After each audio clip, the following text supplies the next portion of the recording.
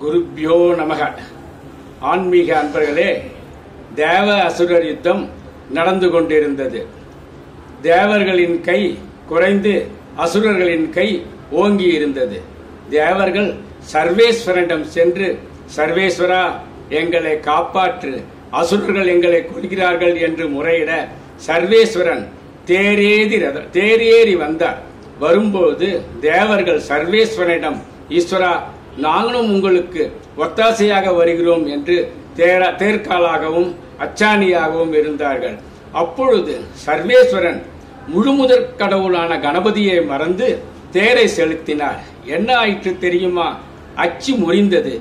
அதைதான் அச்சிறுப்பாக்கம் என்றார்கள். சர்வேஸ்வரன் கணேசனை நினைக்க தேர் ஓட ஆரம்பித்தது. அப்பொழுது தேவர்கள் தாங்கள் தான் எல்லாம் தேர் க- தேர் சக்கரமாகவும் தேர் அச்சாணியாகவும் இருக்கிறோம் என்று மமதை கொண்டார்கள். சர்வேஸ்வரனோ ஒரு பார்வை பார்த்தார். முப்புறமும் எரிந்தது. தே- தேவர்கள் தங்கள் தவற்றை உணர்ந்தார்கள். அது மட்டுமா? க- முருகன் வள்ளியை மணக்க பகீரத பிரயத்தனப்பட்டார். முடியவில்லை. கணேசனை மறந்தார். அதனால் தான் அவ்வாறு ஏற்பட்டது.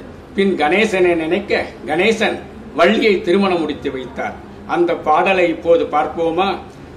கைத்தல நிறைகனி அப்பமுடவள் பலி கப்பிய கரிமுகன் அடிபேணி. கற்றிடும் அடியவர் புத்தியில் உரைப்பவ கற்பக என வினை கடிதேகும். மத்தமும் அதியமும் வைத்திடும் அரண்மகன் மற்பொரு தீரல் புய மதயானை. மத்தல வயிரனை உத்தமி புதல்வனை மற்றவிழ் மலர் கொடு பணிவேனே. முத்தமிழ் அடைவினை முற்படு கிரிதனில் முற்பட எழுதிய முதல்வோனே. முப்புறம் எரி செய்த அச்சிவனுரை ரதம் அச்சது பொடி செய்த அதிதீரா அத்துயரது கொடு சுப்பிரமணிபடும் அப்புறம் அதனிட இபமாகி அக்குற மகளுடன் அச்சிறு முருகனை அக்கணமனமருள் பெருமாளே உன்னை ம- மட்டவிழ் மலர் கொடு பணிவேனே. கைத்தர நிறைகனி அப்பமன் அவள் பொறி கப்பிய கனிமுக நடிபேணி கற்றிடும் அடியவர் புத்தியில் உரைப்பவ கற்பக எனவினை கடிதேகும். மத்தமும் மதியமும் மைத்திடும் அரண்மகன் மற்பொரு திரபுய மதையார்.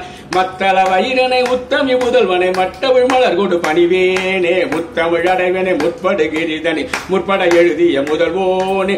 முப்புறம் எரி செய்த அச்சிவன் உரை ரதம் அச்சது பொறி செய்த அதிதீரா. அத்துயரது கொடு சுப்பிரமணி போடும் அப்புறம் அதனிட இவமாகி அக்குற மகளுடன் அச்சிறு முருகனை அக்கணமன முருள் பெருமாளே. உன்னை மட்டவிழ் மலர் கொடு பணிவேனே. முருகா சரணம்.